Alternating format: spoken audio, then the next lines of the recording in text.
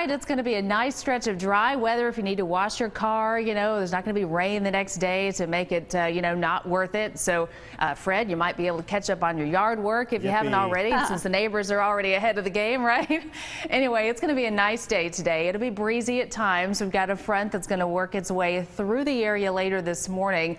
Not going to do a whole lot to the temperature, but it will cause a breeze to pick up this afternoon, and we'll end up with temperatures that are a little below average for this time of the year. Warmer weather is on the way for later in the week, and again, looks like most of us are going to stay dry all the way through next weekend. The exception is the mountain locations where we could find a couple of showers on Thursday, but other than that, we are going to stay rain free with very dry air continuing to push on in and then just staying put. Not a huge chance to get the moisture back into the area.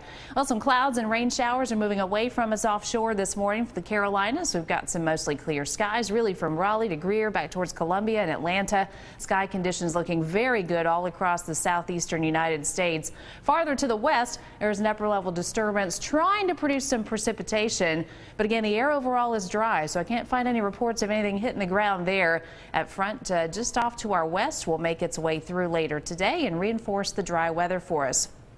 So looking good. You need the sunglasses. Uh, definitely looking at a cold start to the day, and we'll expect uh, relatively mild temperatures this afternoon. Clear skies will mean another cold wind force going into tomorrow morning, and a freeze will be possible for the upstate and likely in the mountains. We're talking mid 20s in the mountains by tomorrow morning. Plenty of sunshine that will help the temperature to rebound pretty nicely getting into the afternoon.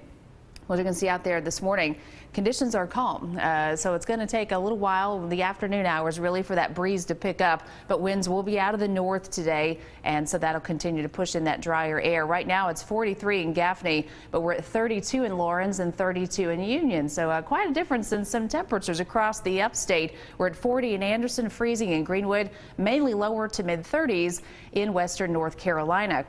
Here's a virtual skycast for Spartanburg by 9 a.m. We're at 41, 54 degrees by lunchtime, topping out at 61. The average high temperature is in the mid 60s. So again, a little cooler than average for today, but sky conditions should look good. That's the case for the mountains too. Just above freezing by 9 a.m., 43 by midday, and we'll top out with a high temperature right around 50, which is also a little below average for this time of the year. Here's forecast for the next 72 hours. Around 60 today, mid to upper 50s tomorrow for the first day of spring, which begins on Wednesday. Sunshine and a little warmer up to 61. And then we warm it up from there. We're talking about upper 60s by the end of the week. So far next weekend looking good. Clouds do begin to gather on Sunday, but I'll keep it dry. There's your mountain forecast. Look for a high near 50 today, 26 for tonight. Sunshine and low 50s for tomorrow. All right, let's go over to Emily.